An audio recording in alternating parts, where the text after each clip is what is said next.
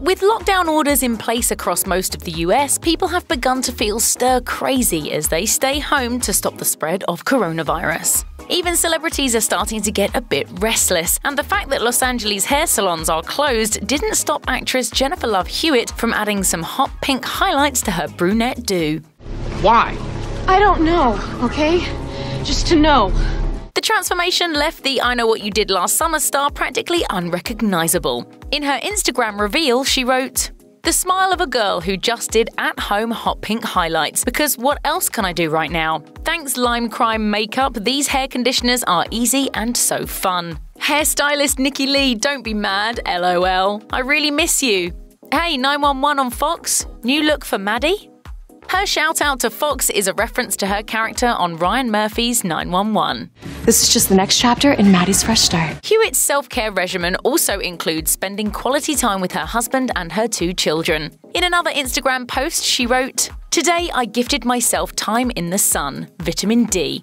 Good music, my kids laughing, and just time to do nothing. It felt good to just be to let my heart send prayers and good thoughts to the sick and hurting, to the amazing people on the front lines fighting, to my friends and loved ones who I miss so much, and then to smile and feel grateful for the warmth and beauty of something as simple and profound as the sun.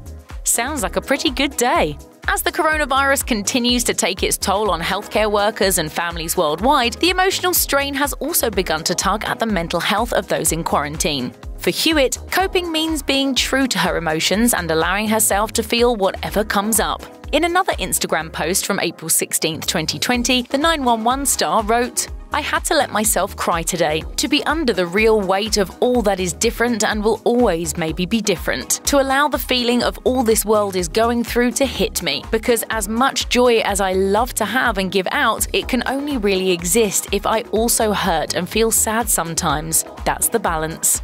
Hewitt further explained her feelings, saying in part, I just want to fix it, and I can't, so I cried. I feel like I may do more of that still. But I do believe light wins. We will stand stronger, better, and brighter again. Sending love to you all. Self care remains imperative during times of stress, and as Hewitt's posts prove, we're all in this together.